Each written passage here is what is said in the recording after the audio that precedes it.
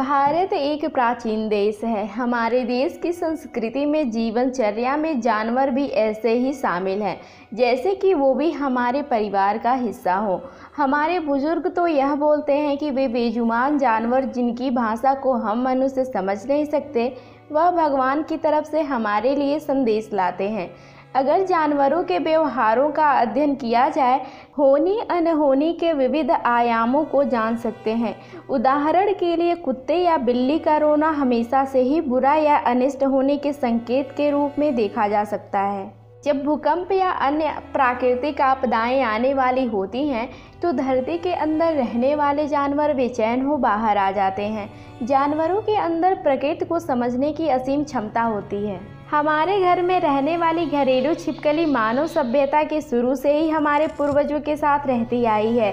हमारे महान पूर्वजों ने उसके रहने व मानव शरीर पर गिरने के बाद पड़ने वाले प्रभावों का व्यापक रूप से अध्ययन किया और कुछ निष्कर्षों पर पहुँचे।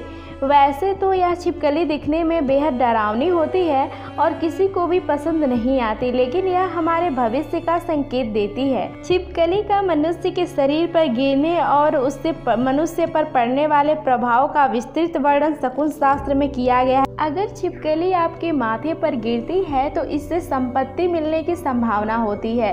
अगर वह आपके गर्दन पर गिरती है तो इसका यह मतलब है कि आपको यश मिलेगा। दाहिने कान पर छिपकली गिरने से आभूषण की प्राप्ति होगी। बाएँ कान पर छिपकली गिरने का मतलब आयु वृद्धि से है। नाक पर छिपकली गिरने का मतलब है कि आपका जल्द भाग्योदय होगा। बाएँ गाल पर छिपकली गिरने का मतलब है कि पुराने मित्र से मुलाकात होगा। दाहिने गाल पर छिपकली गिरना यानी आपकी उम्र बढ़ेगी। मुख पर छिपकली गिरना यानी मधुर भोजन की प्राप्ति होगी। अगर आपके गले पर छिपकली गिरती है तो इसका मतलब है कि शत्रु का नाश होगा। कमर के बीच में अगर छिपकली गिरे तो आर्थिक लाभ मिलता है। पेट पर छिपकली गिरने से आभूषण की प्राप्ति होती है।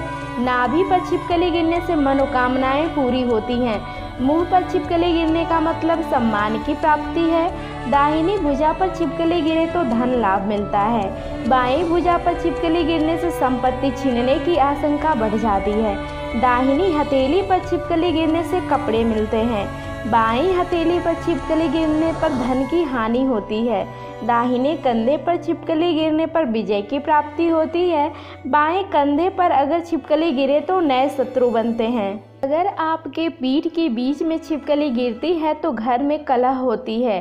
पीठ पर दाहिनी ओर छिपकली गिरने से सुख मिलता है, जबकि बाईं तरफ़ छिपकली गिरने का मतलब रोग का दस्तक देना है। दाहिनी जांग पर छिपकली गिरने से सुख मिलता है, वहीं बाईं जांग पर छिपकली गिरने से दुख ही दुख यानी शारीरिक पीड़ा होती है। दाहिने घुटने पर छिपकली गिरने से यात्रा का संयोग बनेगा। बाएँ घुटने पर छिपकली गिरने का मतलब बुद्धि की हानि है।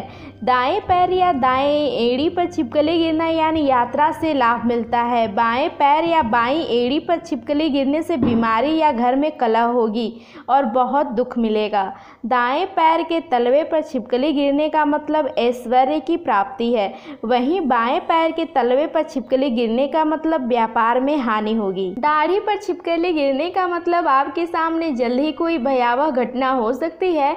भाव पर छिपकली गिरने का मतलब है कि धन हानि होगी। यदि छिपकली आपके बालों पर गिरती है तो इसका मतलब मृत्यु सामने खड़ी है।